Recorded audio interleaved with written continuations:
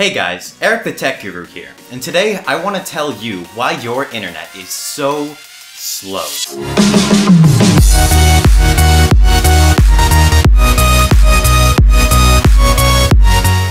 When talking about network connectivity between two devices, or internet connectivity in general, there are three major areas of concern. These areas are the link between your computer and your router or modem, the link between your router or modem and your Internet Service Provider, or ISP, and the link between your ISP and the Internet.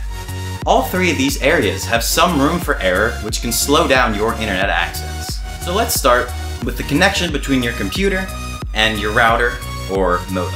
If you're using a wireless connection, there are a few places where your connection could be slowed down.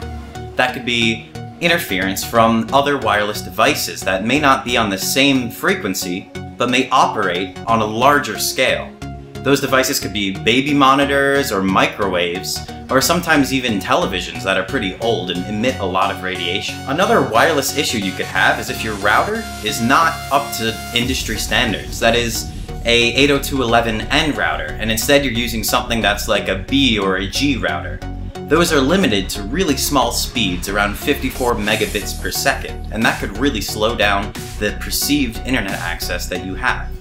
What I recommend for this solution is getting a nice dual-band 802.11ac wireless router. These can be purchased for as little as 100 bucks, and they give you much more flexibility of how much bandwidth you get over a wireless network. I'll put a link in the description below to give you a few options on what you might want to pick up. If you're using a wired connection, faults between your computer and your router may be a little less common.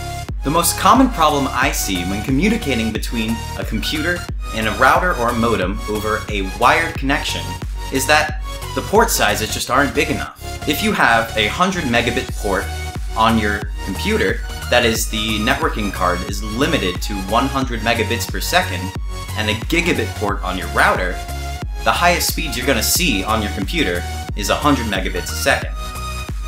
Likewise, if you have a 100 megabit port on your router and a gigabit port on your computer, which is the most likely scenario, then that router is limiting the amount of bandwidth that you're getting.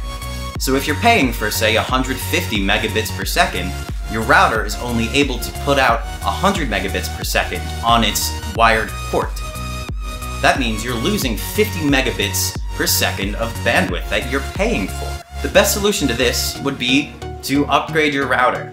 Now, if you have like Verizon or Comcast or something, they'll give you a gateway, which is a combination of a router, a modem, and a switch. And these gateways are normally restricted so it's the only way that you can connect to the internet through your internet service provider.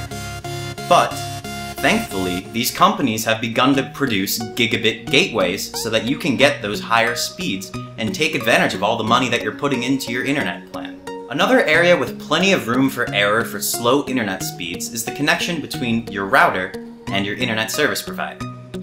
If you pay for a specific amount of bandwidth, say 85 megabits per second, with your internet service provider, then your ISP is only going to allow you to access the internet at that speed at most. Remember, when you're paying for an internet plan, you're paying for a maximum speed.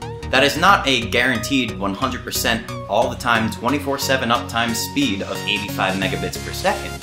That means that you can get up to 85 megabits per second. You'll probably get around 70 megabits per second on an average day. If your modem or router is damaged, that can also give you difficulties when accessing your internet service provider from your local residence. In that case, it's best to call up your ISP and get them to send out a repairman to fix your router. If you have a fiber optic box on the premises, that could also be damaged, in which case you would need to call up your ISP again and get them to come and replace or fix whatever needs replacing or fixing. If your network is heavily saturated, say there are tons of people on your wireless network or wired network that are trying to connect on the same line to your internet service provider, say mom is streaming movies off Netflix, dad is watching the game on TV or on internet TV, and your brother is playing some games while you're trying to download a new operating system. That's a lot of bandwidth being requested by a lot of different users, and that bandwidth has to be split between those users. Now, that might lower the perceived internet speeds that you're getting, but when you add them all up, you'll generally get the amount of bandwidth that you pay for. If some cables are down and there's a storm going on, or the power goes out, then of course you're going to lose some amount of internet connectivity. If the power goes out and your router can't get power, you're not going to have internet access. If a tree falls and it takes out the cables running to your house that carry your broadband internet, you're not going to have internet access. If another tree falls in the neighborhood and that takes out a portion of your ISP's network, it's going to limit your bandwidth as everyone is going to be trying to connect without that link. Finally, there's the issue of connections between your internet service provider and the internet. If your internet service provider is having troubles, say a power outage or some kind of technical difficulty, it's probably on a large scale and they'll probably fix it as soon as they can. But there's nothing that you personally can do about it except report the outage. If, say, you're accessing the internet on a Friday night when everybody is watching movies or whatever people who are at home on Friday nights do, i.e., play World of Warcraft or something, and everyone in the neighborhood is trying to play, or everyone in the neighborhood is trying to stream a movie, that would be considered a peak time. Now these peak times are times where internet service providers cannot guarantee you the maximum speeds you pay for. These peak times, you may find a clause in your internet service provider's contract saying that during peak times you may be limited to a specific amount of bandwidth. If you're trying to access a site or a computer whose IP address has been blacklisted by your internet service provider, that could also make you unable to access the internet.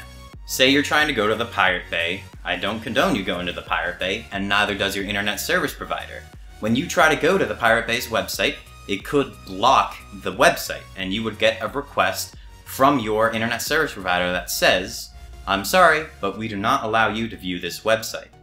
If you call that your internet slowing down or not functioning properly, then it is what it is. But there's nothing you can do about that. Alright, I think that's all for now. Tune in next time and I'll have some more technical explanations for you, so you can figure out what's wrong with your computer, or why your internet's going so slow, and what you can do about it. That's all for now. I'm Eric the Tech Guru signing off. Remember, hit that subscribe button if you want to see some more content, and feel free to give me a thumbs up or a thumbs down depending on how you feel. If you have emotions that need to be expressed in a more complex way, make sure to leave a comment and I'll get back to you as soon as I can. Thanks.